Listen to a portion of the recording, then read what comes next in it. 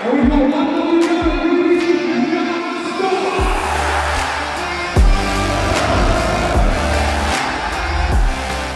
it's always nice to sit with you when we just won the uh, Premiership title. Sport is one of those rare fields where if you succeed, you can see something tangible as rewards for your efforts. How proud are you of your team and your staff for the job they've done in winning back-to-back titles? Yeah, outstanding. Um, you know, I just think the the levels the lads have reached this year in terms of performance. Um, sort of the results uh, speak for themselves. You know, you don't end up uh, champions unless you've been really consistent. Um, but just the level of performance has been outstanding, and uh, it's credit to all of them uh, coming off the success of last year and knowing and, and, challenging them to be better than we were. Um, they've certainly accomplished that, and uh, they did it in, in, in, in some style, which, um, yeah, as uh, as I said after the game, makes me feel very proud the performance on Saturday, while insignificant in terms of the destination of the title, must have pleased you as well.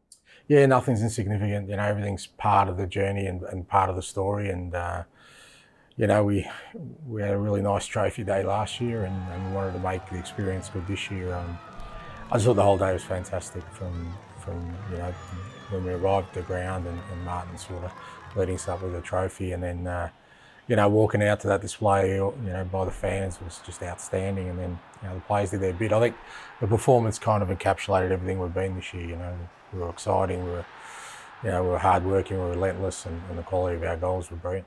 That's two trophies won so far this season. The potential third with the Scottish Cup final this Saturday at Hampden. What will the plans be this week in terms of leading up to the match?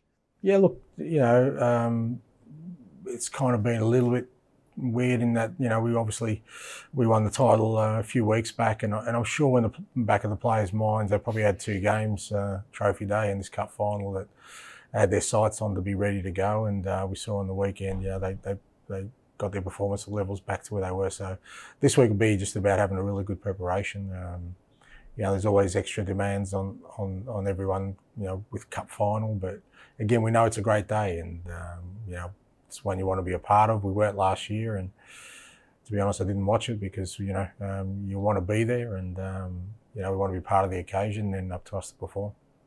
Playing teams domestically three or four times a season in the Premiership can sometimes make the opposition a bit over familiar. But Inverness Caledonian Thistle are a team we haven't faced as a club since 2017. It'll be your first time against the Highlanders. What do you know about them?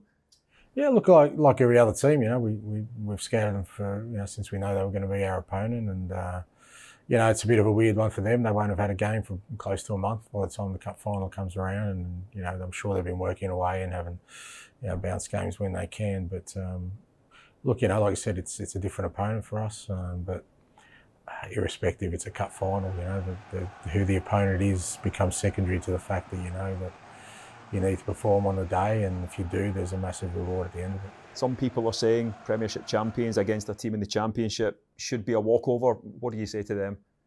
Well, the people I've spoken to at this club don't tell me that. They tell me about the last result against them, which um, you know um, makes you realise that um, you know if you're not on it on the day, that uh, you can be beaten, and, and, there's consequences to that. And uh, I can assure you that no one, um, you know, within the building here um, is going into it with anything other than the approach. We've got to be at our absolute best to win on the day. We don't like making assumptions, and I'm sure there'll be no talk of trebles within the dressing room. For the fans, though, it doesn't get much bigger than winning all three trophies. And I, I don't think there's a club in world football who have done it eight times. And it looks like it's going to be a beautiful sunny day with Hampden packed out in green and white. How much are you looking forward to, to experiencing all that with the fans? Yeah, look, looking forward to the occasion. Hampden's, you know, we've had some you know, already some great experiences as a group there. And, um, you know, again, our part in that is to, to prepare well and make sure we, we perform once the whistle, whistle's gone because, you know, that's what tra- makes it truly a memorable day, a special day. And, um, yeah, that's where the boys' focus is. And, uh, yeah, we'll, we'll, prepare each day to make sure we're ready um, come kick off that uh, we can be at our best.